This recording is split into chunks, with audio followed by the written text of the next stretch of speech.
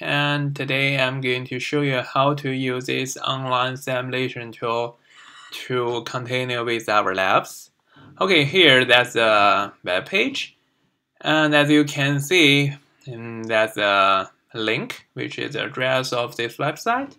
And of course you can either choose to uh, sign in with uh, your Google account or the UB account. You can register register with your UB ID, UB email address, or you can just click the simulation without the username.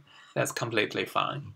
Okay, so that's the platform. It looks like, you know, we have, you can consider this a breadboard. You can draw a schematic here, and you have many components like inputs. You can use those apples. You can use gates decoder, multiplexers, and some sequential elements like uh, D flip-flop, uh, that's the T flip-flop, JK, D, and I think, yeah, we have the SR flip-flop as well. Of course, the clock, you can consider that a function generator in our lab. Uh, for the test bench and the mask, we don't really need them, so let's leave, leave them for the future.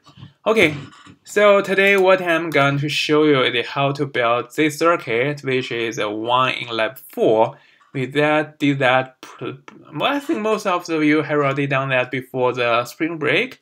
So it's relatively easy, and I hope you can get a feeling about how to do the simulation instead of really hand on the breadboard uh, from my tutorial.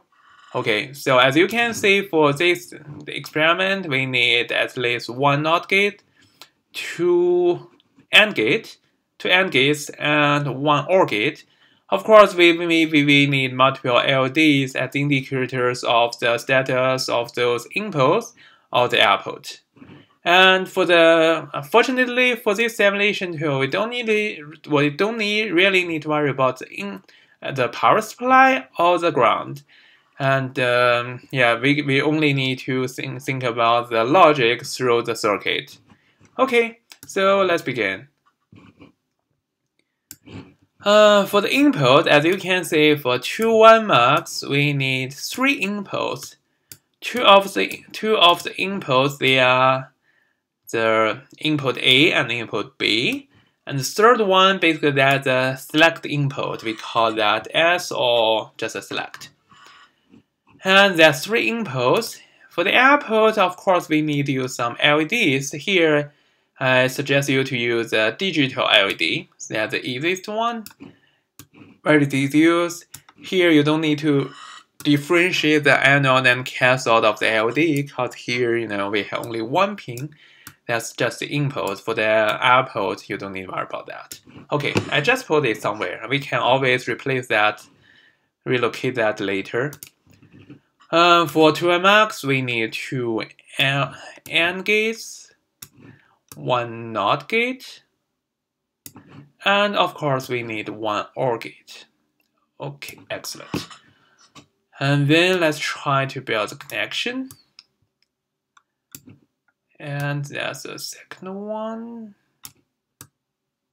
Oops, sorry. Okay, so eh, as you can see here, I made a small mistake and I don't really want this piece of connection.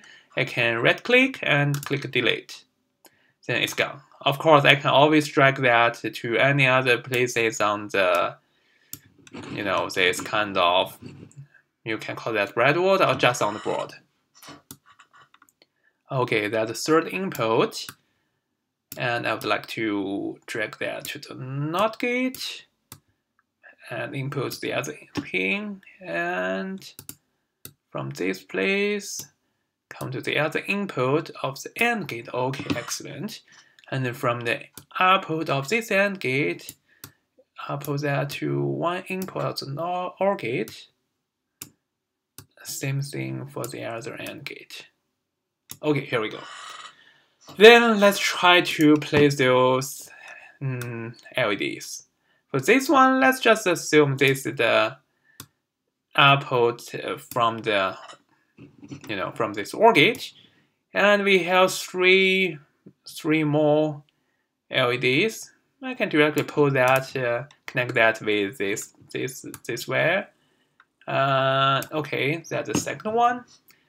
And I can place the third LED, that's output, to this input.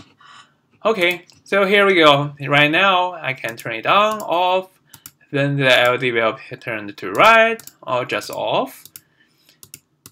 Okay, so basically that's the 2 mux. As you can see here, if the select is 0, then the output here for this 2 mux will be falling with the second input.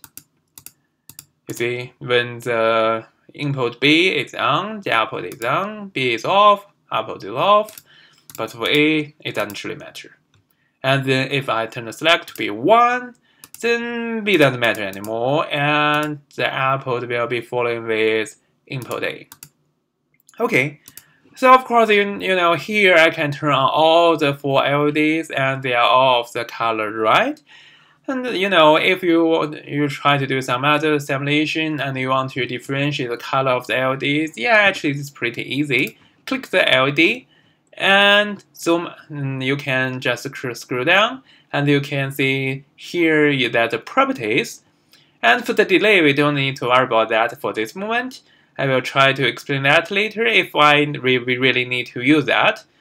But here, if you want to change the color, just uh, tap in some other color. Like here, maybe I can try to use green. And for this one, maybe I can turn that to yellow. Okay, so as you can see, they are all on, but the first two LEDs are still with the red color, the output is green, and the select is just uh, yellow. Okay, so that's how we build the circuit, um, you know, from this simulation platform.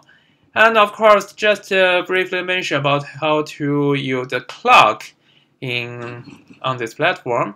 In that case, you may need to use the sequential elements.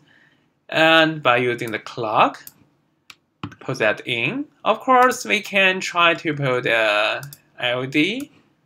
Then let's build connection. And then as you can see, the clock will change, alternate with certain frequency. Then the output, which is the LED, will change accordingly.